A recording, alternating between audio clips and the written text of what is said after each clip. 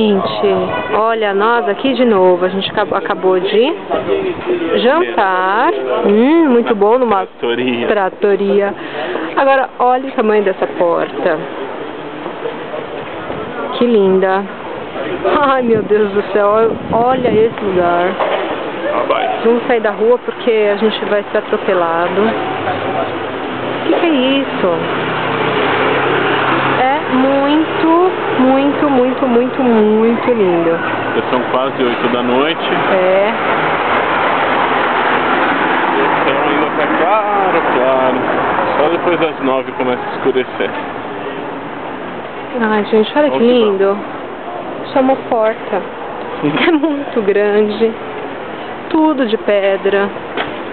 Alto demais. Mais ruas. Ruas antigas. Olha, acho que dá pra comprar doce. É só sorvete. Ah, que é só sorvete, gente. Ai, cada coisa.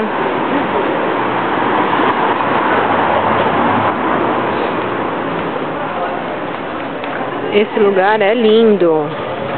Pelo menos essa parte é legal. Outra ruazinha. Aqui é o grande hotel. Cavour. Esse é um grande carro.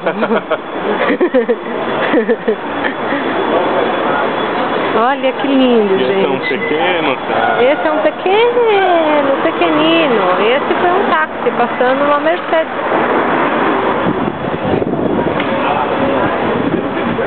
Olha essa porta, olha o tamanho. Tem vindo um carro, baby.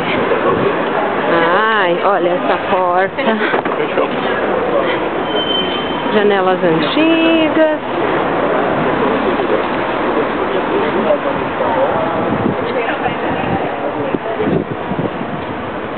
Tamanho dessa janela. Um grade. Mais carro. Deixa eu ver se eu consigo ficar na rua. Sim, sim, sim, não me xingue. Ah, um leão. Por todo lado tem leão. Vou ter que pesquisar isso, gente. Porque que toda a Europa, toda a arquitetura tem um leão.